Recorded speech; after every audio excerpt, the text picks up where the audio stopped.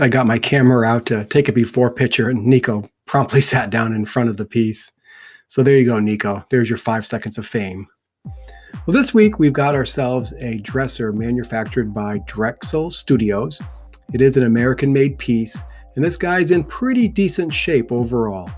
Uh, so for this project, I'm going to make this into a weekend project and see if we can't transform this dresser from this outdated, somewhat worn, to something new and spectacular in just one weekend. I am going to try and reuse this hardware. It is solid bronze and it does have a hand rubbed oiled finish to kind of give it that worn antique look. Now this piece has just a couple of minor repairs that need to be made. I'll add some screws to reattach that top and some of the drawers need new drawer slides. Now this is a big mirror and I don't typically finish mirrors with projects, but this time I'm going to. Now, I may regret that. We'll see how that finishes in the end. Now, step one I have here is to get the hardware off. Uh, I mentioned earlier that I will be reusing this hardware, uh, so I want to be sure to keep all of the screws and the various parts. It did have a couple of fake screw plates, not screw, uh, key plates uh, on the, the fronts of these top drawers. It took me a little bit to figure out how they were attached, uh, but I did eventually pop those off. Uh, they were simply glued in place.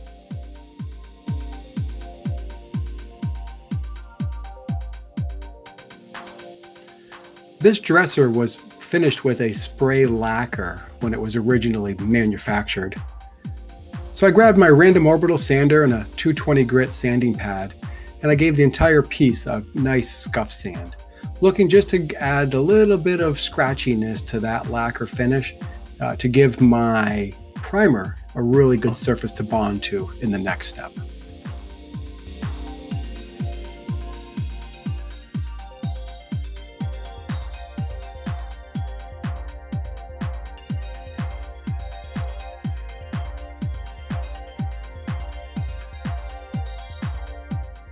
The places my power sander couldn't reach, I just grabbed some sandpaper and, went over it by hand, doing the same thing, just trying to scuff up that top surface.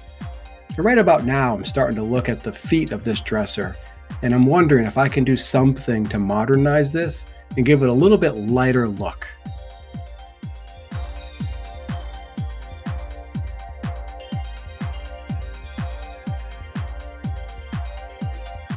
With the sanding completed, now it's time to go ahead and get all of that dust off this piece.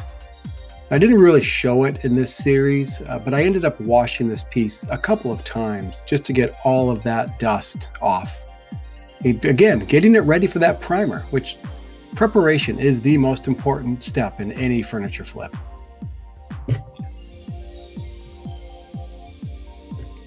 Now I do have a couple of holes uh, that I won't be using where those key, those fake key plates were.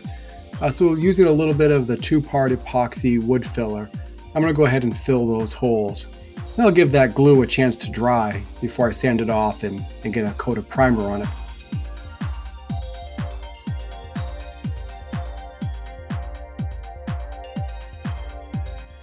These top drawers had a couple of uh, decorative plates that I won't be reusing, so I'm using this wood filler to fill in those little holes.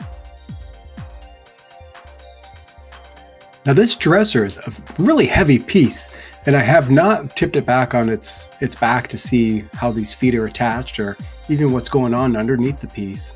So I'm pretty excited to take a look and see if there's any way that I can easily take these feet off. I was super excited to see that these feet were simply screwed on. It only took me a couple of minutes and a few screws and I was able to get both of those feet off. Real simple.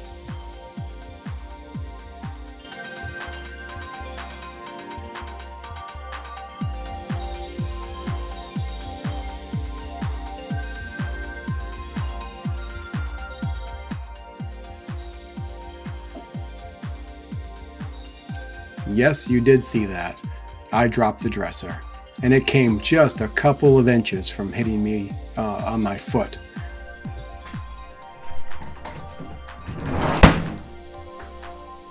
That jumped me. Uh, made me realize I gotta stop and think a little bit more when I'm picking up these pieces, especially these heavy ones.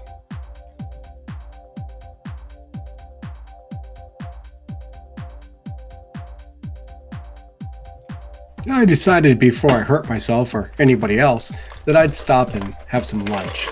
Uh, so I took this opportunity to get my hardware stew going. I'm going to go ahead and simmer this hardware in a mixture of white distilled vinegar and water over medium heat. And I'll kind of let that simmer while I'm eating my lunch. And that's going to hopefully dissolve the, the top coat off of this hardware so I can get to at that rubbed oiled finish in another step. I'm going to go ahead and jump online and order up uh, some new feet and new drawer slides while I'm eating my lunch. And then it's back out to the shop, add the primer. Now I will be using a Fusion mineral paint, and I'm using a, a dark color, the Midnight Blue. So primer isn't 100% necessary. Now, I do tend to feel more comfortable personally using a primer. It's what I'm used to, uh, so I typically will prime most of my pieces. I'm using a shellac-based primer by BIN uh, for this piece. It's really a great product for working in your garage in February because uh, it really doesn't have any temperature limitations, or at least none that I'd want to work in. Cleanup is kind of a bummer, uh, but I simply bag my rollers and brushes for the next project. Well, this is the end of day number one. Uh, so to celebrate, Nico and I went out for a nice evening hike in the woods.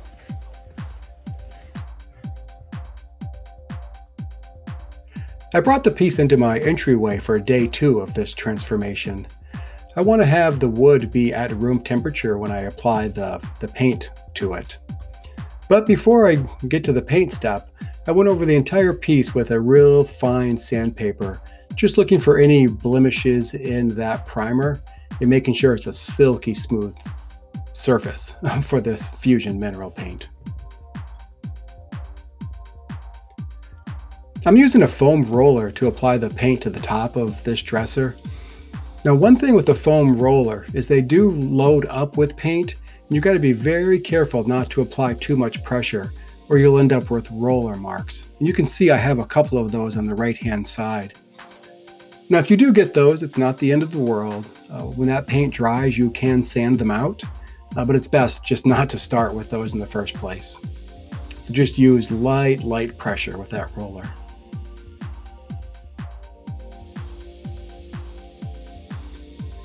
If you're getting some value out of this video or having a good time and you're thinking to yourself, man, we should hang out sometime. Well, we can. You just go ahead and hit that subscribe button and hit that little like button and next time I upload a video, uh, we can hang out again. So don't be shy. Go ahead and hit that subscribe.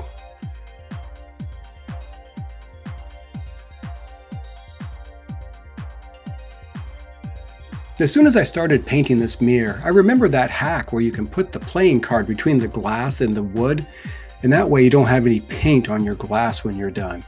And right now, I thought this was the best tip ever and it actually turned out to be the worst tip ever. So stick around and you'll see what happened with, with this idea.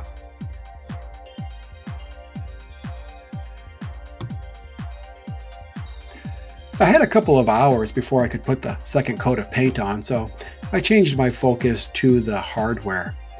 I used the Zep degreaser and rubbed each piece down, and that really did a great job at taking that oiled finish off and as soon as I was done processing those pieces, I grabbed my barkeeper's friend and began to polish them.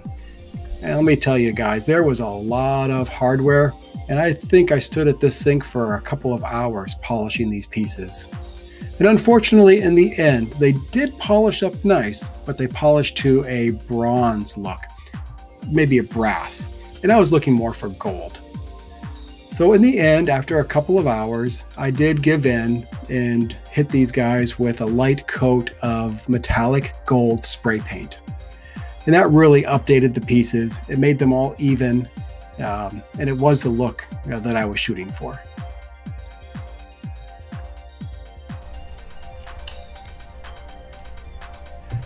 This is a couple of days later. The new legs have just arrived in the mail, um, and this is about 10 o'clock at night. And I thought I'd go uh, pull these cards out, add the legs, and take some pictures for my listing on Facebook Marketplace. Then I realized that I didn't pull these cards out when the paint was wet, and this paint has essentially glued every playing card to the mirror. Let me tell you, this was a frustrating moment as I looked around and saw probably 50 cards, each one of them glued. Now, I did end up turning the camera off. Um, it took me maybe an hour and a half to get the cards out. Uh, yeah, that happened.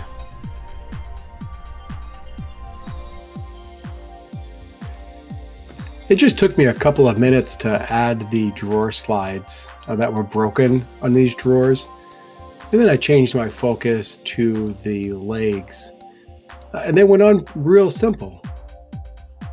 I marked the holes. And because this is a hardwood, this is a maple base, I did pre-drill each of the holes. And that way I don't risk splitting any of this wood.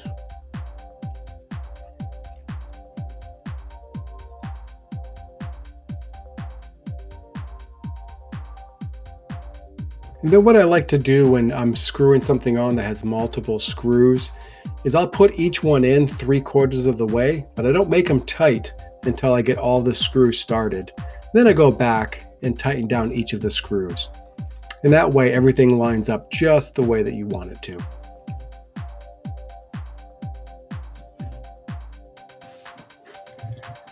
With the gold hardware and gold legs, I grabbed some of this rub and buff gold detailing wax.